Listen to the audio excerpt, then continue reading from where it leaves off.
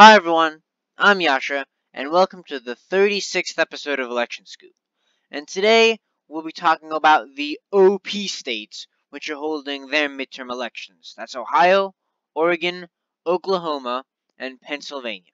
So let's dive right in. First up is Ohio, the classic, I mean, along with Florida, Iowa, mm, maybe New Hampshire, maybe Nevada, I don't know one of the classic swing states. I mean, this this state is famous for swinging down the middle and voting with almost every correct presidential candidate. And so for governor, Democrat Richard Cordray is facing off against Attorney General Mike DeWine. Man, we got a lot of attorney generals running for governor. I mean, tons of states. So President Trump won this state, and he won it by not a not a large, but not a not a hair scrapey margin either.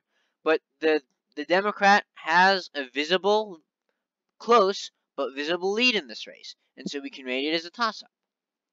Likewise, um, well, actually a little differently, um, for the Senate, incumbent Democrat Sherrod Brown is uh, running against Republican Jim Renacci.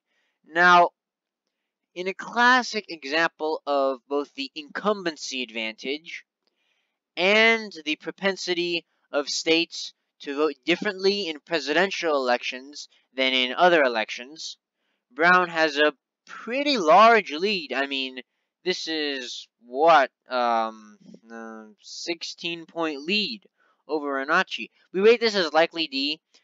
I I I got the I, I get the ratings usually from Larry Sabato and the Crystal Ball because I really I like those ratings. I feel like this should be solid D, but I understand their their rationale behind making it likely Democrat. I mean, uh, it's almost impossible that this seat will switch hands regardless. Now for the Ohio House. Ohio has 16 districts, it's quite a large state, and for the most part we're not expecting any change. But the first, 12th, and 14th districts, and to some degree the 7th, 10th, and 15th, are somewhat competitive, and so there are opportunities for Democratic pickups, but we're not expecting anything there at this point.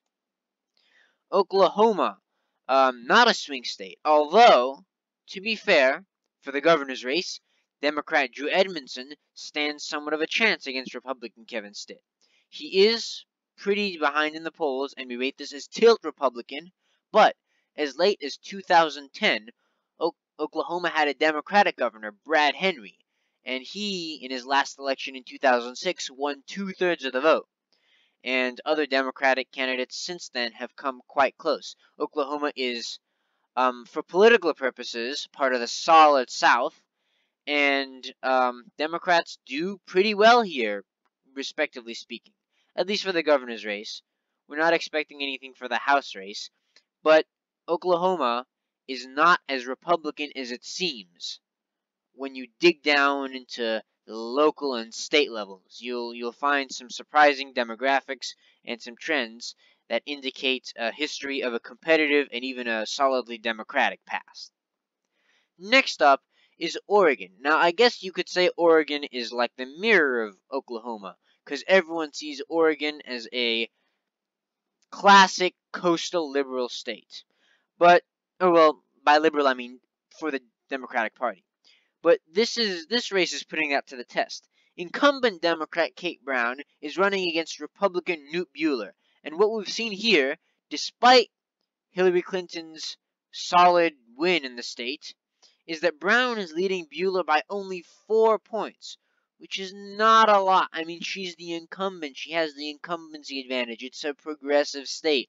And you think, all right, this is in the bag. We can go home now. But no, this race is a toss-up. The Republicans might actually take this district, and that's why I say it's the mirror of Oklahoma.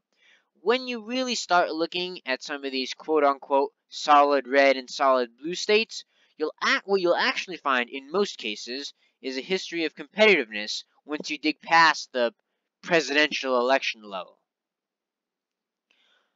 Again, like Oregon, or like Oklahoma, Oregon's House, however, is not competitive since you have incumbents and uh, all that fun stuff. But there is a safe Republican district. Much of the the rural uh, east of the state, uh, since the sec the second district by land covers a majority of the state, it's just that it's relatively uninhabited, and it is most of eastern Oregon is quite heavily Republican. Last but not least is Pennsylvania. Man, we got some swing states here. Uh, although not in this race. Incumbent Democratic Governor Tom Wolf is running against Republican Scott Wagner. Now remember, President Trump won this state by like a point, maybe less than a point, maybe a little greater than a point. A small margin, not anything big, so this isn't a Republican state or anything, but he won it. Despite that, Democrat Tom Wolf is running a solid uh, 16 points ahead of Scott Wagner. I mean, this is a massive lead for a supposedly swing state. This is a safely Democratic seat. Wolf is popular. He is uh, riding on the coattails of local and state Democrats. Um, his I discussed him in a previous episode, but uh, his lieutenant governor uh, is quite a character. Uh, name's Fetterman, actually, and yeah, you should look him up. Now there is Pennsylvania's Senate. Very similar. Incumbent Democrat Bob Casey is running against Representative Lou Barletta. Now, it's amazing how close these numbers are. Casey has 1% less. Barletta has, uh, I think, yeah, one also 1% less than the candidate, their respective candidates for the governor race. And this is also safe Democrat. Again, going into 2018, we hadn't forecasted this. I mean, this is a state that Trump won. We didn't really necessarily expect a Republican landslide or even a Republican victory, but we did not expect it to not be close. This is a not a close state. This is a you you'd think just from these few races that this is a solidly Democratic state, but no, it's not. It's the incumbency advantage and um, ancestral support for local parties at work. Last but not least is the Pennsylvania House. Um, it's interesting. Ohio and Pennsylvania have super complicated House races, and the other two, Oregon and uh, Oklahoma, are pretty much snooze fest. So, remember, these asterisks mean whichever side they're shaded as the opposite party controls them. Now, Pennsylvania was a pretty gerrymandered state until last election, and as of redistricting, we predict that the Democrats will pick up four seats. We, we it's most likely they will pick up the 6th, 7th, 8th, and 17th districts, while the Republicans are going to pick up the 12th district. And that District 1 is a toss-up, you know, and there's some competitive races here and there. To put as a total, most likely this will be a very good state for the Democrats. They could gain up to three or four seats. They could potentially gain more. Or, I mean, I guess they could theoretically, if they do really badly, flop it. But that's quite unlikely. Most likely, you've got that those four races, 6, 7, 8, 17.